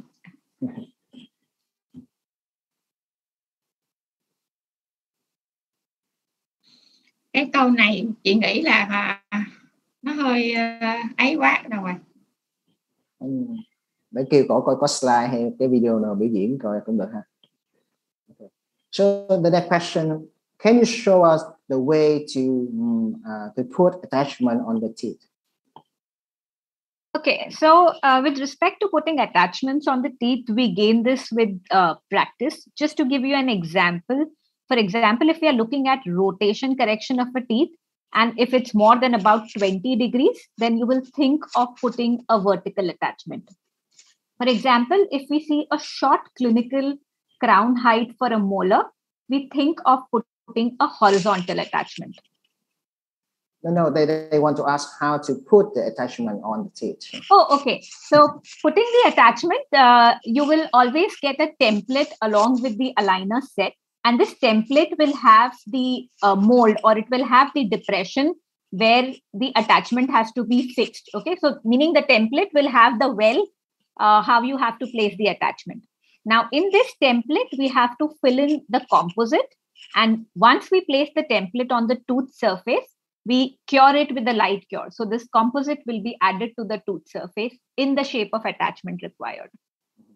Thì câu trả lời cô là khi mình muốn gắn attachment lên cái răng à, à, thứ nhất là từ nãy cô hầm hiểu nhầm câu hỏi thì cô nói là chẳng hạn như mình muốn xoay cái răng 30 độ thì dùng cái vertical tức là cái uh, cái attachment dạng đứng còn muốn muốn lúng trội răng thì dùng cái attachment dạng uh, ngang à, nhưng mà tôi hỏi là, là cái cách gắn attachment coi không biết tôi có hiểu đúng câu hỏi của các bạn này không nhưng mà tôi nói điều để gắn attachment nó thì nó cái bộ cái cái bộ khai trong suốt nó sẽ có những cái template tức là những cái cái khuôn. Cái khuôn này nó cũng có giống như cái khai của mình vậy đó nhưng mà nó sẽ có cái hình cái nút ừ, cái attachment đó, đó. Thì nó gắn lên cái răng thì nó bó chặt hơn so với cái khai. Và khi đó chúng ta ép bon bình thường chúng ta composite lên cái răng cho composite vô cái kha cái cái khuôn đó đó và chúng ta gắn lên răng. Chúng ta ém nén vô xong chúng ta chiếu đèn. Sau đó chúng ta gỡ cái khuôn ra chúng ta ừ, làm láng chỉnh cái attachment trên răng đó nó giống như chúng ta chán composite vậy đó So do you have any picture or any video for showing how to do uh, attachment? Uh, Tanya, can we retrieve this by the time we take another question or something? Uh, unfortunately, we don't at the moment. But like that is something uh, like techniques to do clinical things is some like it's a it's a top topic all on its own. So maybe that is something for next time that we can uh, you know uh, share. But as of now, it will be really difficult for us to share that uh, any uh, clinical um, technique Okay. And for anybody who's interested, you can reach out to our partnerships manager, Thao, and uh, she will help to connect with the questions or the material required to explain the question better. Rồi. Thì cô nói là hiện tại cô có sẵn thì cái đó sẽ dành cho một cái bữa uh, khác. Um, okay. So the, the next question is that after the patient were on the tray, of your treatment plan, but the patient doesn't feel satisfied with the result. So, do we need more tray to achieve better uh, result? So, if if the case does not finish as planned, or the patient does not, uh, for some like if the patient is not satisfied with the results, um, so there are two things. A, the patient is not satisfied with the results, but the case finished as planned. Then it is hard for the case to go into refinement because we promised something and we delivered it. But if the case did not finish as, as planned and the patient is satisfied, that is understandable. And we can help uh, give more set of trays and help to the desired correction. And uh, so then the case goes into refinement so then we can give additional trays and uh, help to uh, get uh, make whatever correction is needed câu trả lời là cái chuyện mà bệnh nhân chưa hài lòng này có hai hai tình huống xảy ra một là do cái cái việc điều trị của chúng ta chưa đạt được cái mà dự định ban đầu thì chúng ta tiếp tục mà điều trị cho nó đạt được cái kết quả mà chúng ta đã thỏa thuận với bệnh nhân ban đầu. Cái chuyện thứ hai là bệnh nhân chúng ta đã đạt được cái thỏa thuận ban đầu rồi mà bệnh nhân chưa hài lòng nữa uh, vẫn còn muốn cái gì đó thêm thì chúng ta tới giai đoạn tinh chỉnh. À, giai đoạn này sau giai đoạn điều trị uh, ban đầu. So just to give an example to make it clearer, if I had for the particular case, uh, we had promised 2 mm uh, retraction, and the case finished with 2 mm retraction fully expressed, but the patient is still not satisfied, then we cannot do more than that because that is a limitation for the case. There was a reason why we only did 2 mm retraction because that was the only amount of retraction that could be done. That was the only space available to retract the teeth backward. Thì cô đó ví dụ chẳng hạn như là có một ca lâm sàng bây giờ mình nói là sẽ kéo lùi bao nhiêu mm đó đó đạt được mục tiêu đó đó. Mà sau khi mình kéo lùi hết đó thì bệnh nhân là không muốn bệnh nhân là muốn kéo nữa kéo lùi nữa. Thì giờ thì đó là hơi khó khăn tại vì chúng ta đã kéo hết tối đa tới cái khoảng chúng ta có những cái vùng mà chúng ta đã tính kế hoạch nó đó rồi. So after we do IPR, what kind of material will we uh, be put into the, the surface of uh, the teeth that we have uh, um, do IPR? So, uh, after doing the IPR, Yes. After doing the IPR, if you think that the patient has a high caries index, then we can uh, do application of a fluoride varnish. However, there are mixed studies that say that fluoride varnish is effective or not effective, but it's an individual doctor's choice. If you feel that the patient has high caries index, go and apply a fluoride varnish after doing IPR. Otherwise, we can just tell the patient to maintain good oral hygiene and it will automatically remineralize. Hmm. thì um, câu trả lời là cái việc điều trị uh, sau chúng ta mày kẻ thì chúng ta có bôi gì hay không thì cậu nói thường chúng ta sẽ phải chúng ta sẽ bôi floor à, tuy nhiên cái này nó vẫn còn còn tranh tranh cãi là việc có hiệu quả của VA bôi cái Verniflo lên cái vùng mà vùng vùng mình mài răng á nó có hiệu quả hay không? Cho nên là tùy thì nếu mà bệnh nhân có nguy cơ sâu răng cao thì chúng ta sẽ dùng cái cái floor tại chỗ để chúng ta để tái khoáng giúp tái khoáng hóa cái mô răng này. Còn không thôi chúng ta cứ đánh răng vệ sinh sạch sẽ thì cái mô răng này sẽ tự động được khóa, tái khoáng hóa. Hết là chị Thảo à? Còn hai câu nữa bạn ơi à, cái câu cái câu về video nãy mình có hỏi rồi nhưng mà cô nói là vấn đề này là việc thiên về kỹ thuật thì nếu mà có làm sẽ một cái cái hội thảo khác cho nên là cô từ chối cung cấp hình ảnh cũng như video những câu hỏi này chúng ta nên bỏ qua còn một câu cuối cùng um, so in the case that the patient have uh, uh, molar the first molar uh, in the upper arch already extruded. And now we want to extrude this teeth. How we can we do with clear aligner? Okay, so like Dr. Tanya explained you a slide of uh, limitations or scope of clear aligners. So extrusion or a supra-erupted molar falls under that category. So we should first correct the molar with help of micro implants. We, play, we can place micro implants on the buccal side and on the palatal side and use some elastics to intrude the particular molar. So that's one way. That is, you do it before the treatment. Or the second way would be along with the aligners, you can place micro implants and help to achieve this movement. But this pure intrusion with clear aligners is not so predictable. It's better to use an auxiliary appliance. thì cô nói là đối việc lúng lúng răng á lúng răng cối thì đối với clear này hay là cái sản phẩm Genium này thì nó hiệu quả nó không có dự đoán được tức là mình không có chắc ăn. Thì đối trường hợp này để lúng răng hiệu quả chúng ta sẽ dùng cái cấm minivit và chúng ta dùng thun để lúng cái răng này. Thì cái việc lúng thúng này lúng cái răng này bằng thun với medium plan chúng ta hãy cùng làm một cùng một lúc với việc chúng ta mang khai hoặc chúng ta sẽ điều trị trước cho cái răng nó sang phẳng rồi chúng ta mới à, mang khai. Câu hỏi rồi Quấn ơi.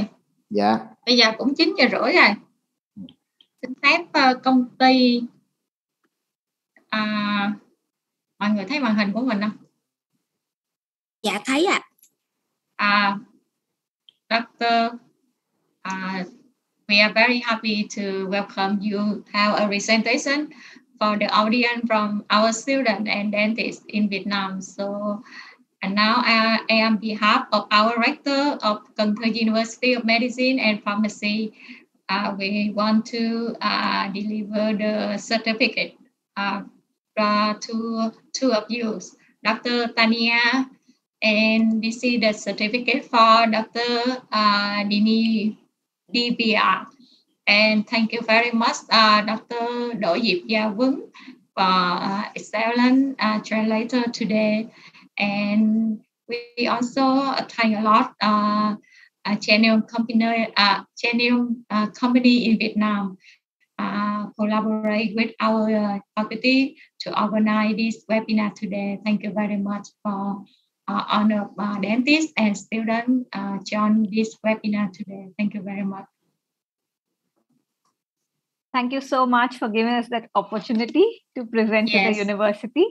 And Thank for so other questions, if you still have questions, please feel free to email us and we will get back to you definitely. Thank yes. you so much. Thank you so much Yeah. for giving us this opportunity. Thank you so much. yes Thank you. thank you Bye Dạ cảm ơn tất cả bác sĩ ạ. Em xin chào chúc bác sĩ buổi tối vui vẻ ạ.